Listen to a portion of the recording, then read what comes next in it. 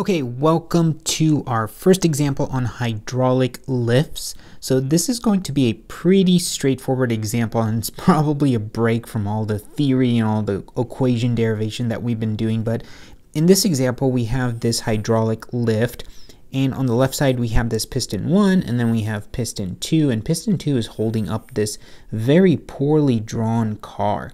Now, inside of this hydraulic lift is an incompressible fluid, and the mass density for this liquid or this uh, fluid contained inside of the hydraulic system, I'll just call rho, that's the mass density, that is going to be 900 kilograms per meter cubed and we'll need this value in a later problem. But in this example, we want to find out answers to two questions. So I have these two questions right here. First one is being what force F1 should be applied to piston 1 to support a car of mass 1300 kilograms at the same level.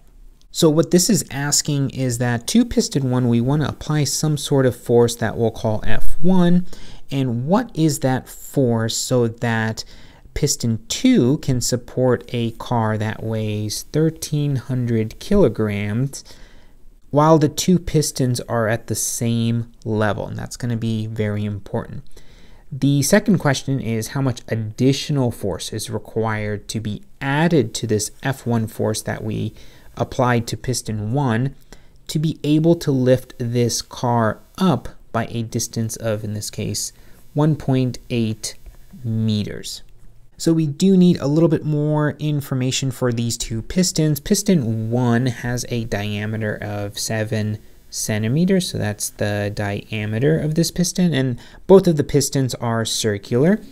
And piston 2 is obviously a lot bigger, and its diameter is 30 centimeters. So this is diameter so respectively, the radius for piston 1 is 3.5 centimeters and the radius for piston 2 is 15 centimeters, right? Just the dia diameter divided by 2.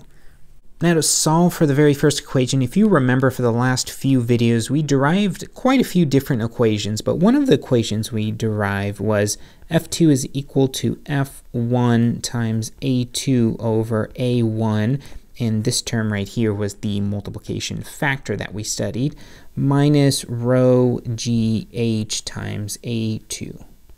So this was essentially the equation that we used to basically figure out what F2 was, in other words, piston 2, the larger of the two pistons, uh, given that we had F1, area 2, area 1, and some other different parameters. And we did this by basically understanding or equating two different pressures within the fluid to basically figure out this relationship. And if you don't know where this equation came from, I would highly recommend watching the last few videos, probably like the last two or three, where we get into the derivation of this equation. But nonetheless, we have this equation, F2 equals F1 times A2 over A1 minus rho GH times A2. Now, this is pretty self-explanatory, but I do want to go back to this question.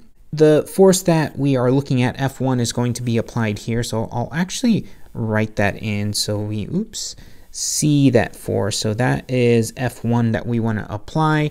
This car right here has a mass of 1300 kilograms, so we'll need to convert that into a force by multiplying it by gravity and that will be what F2 is. So let's actually start doing that. So F2 right here is going to be mass times gravity, which is 1300 kilograms times 9.81 meters per second squared. And that gives us a value of 12,753 newtons. Now F1 is unknown. So that's what we're trying to figure out, right? F1 is this value right here. What value of F1 do we need to hold up a car of 1300 kilograms, or in other words, the force that's being applied by that car, the weight is 12,753 newtons. Now, if we look back at this equation, we see this term right here, right? Rho GH times A2. Now, the question is asking, this question A is asking what force should we apply so that it can support a car of that certain mass at the same level. So in other words, piston 1 and piston 2 are going to be at the same level. Now if you remember from the last few videos, this value h is really the distance between the two pistons, but because these two pistons are at the same level, h is equal to 0. So this term goes away and we don't have to worry about it for this particular uh, question. So what we really need to find out is this A2 and A1. Now remember, both pistons are circular. So area 1, which is a smaller piston, is going to be pi times r squared. Now the diameter for piston 1, so I'll just call that diameter of piston 1 is equal to 7 centimeters.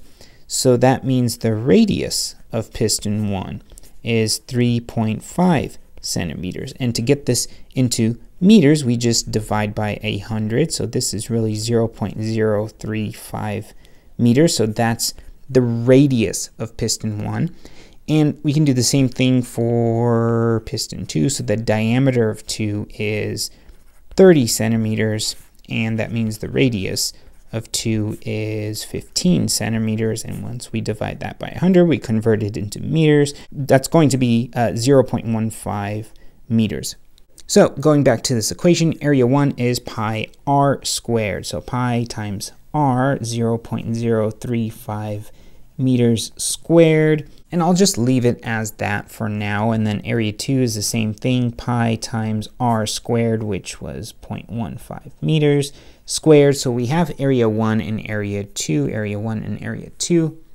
And we can plug these four values into this equation right here. And so again, what we're really left with is just this F2 equals F1 times A2 over A1.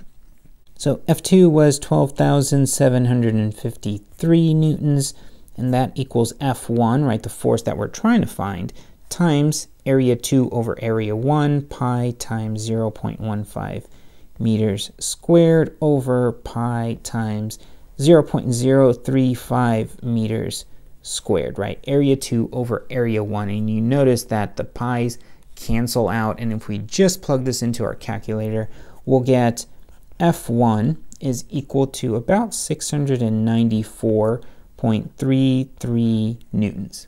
Now, I want to bring your attention to, again, this A2 over A1 term, which is this term right here. This is what we call our force multiplication factor. And if we figured out what A2 over A1 was, well, for this calculation, A2, and I'll just do this kind of on the side here, A2 over A1 was about 18.37. And so what this factor really is, is that we can amplify force 1 by this 18.37 factor in order to get a counter force of 12,753. So what we're really doing is we're multiplying F1 by some sort of factor, this force multiplication factor, to get a larger force. And that's kind of the beauty of hydraulic systems with Pascal's principle, and it's used to do some really cool things Okay, so I'll leave it at that. In part two, we'll actually go and look at this question right here. So how much additional force is required to move the car up by 1.8 meters? So see you then.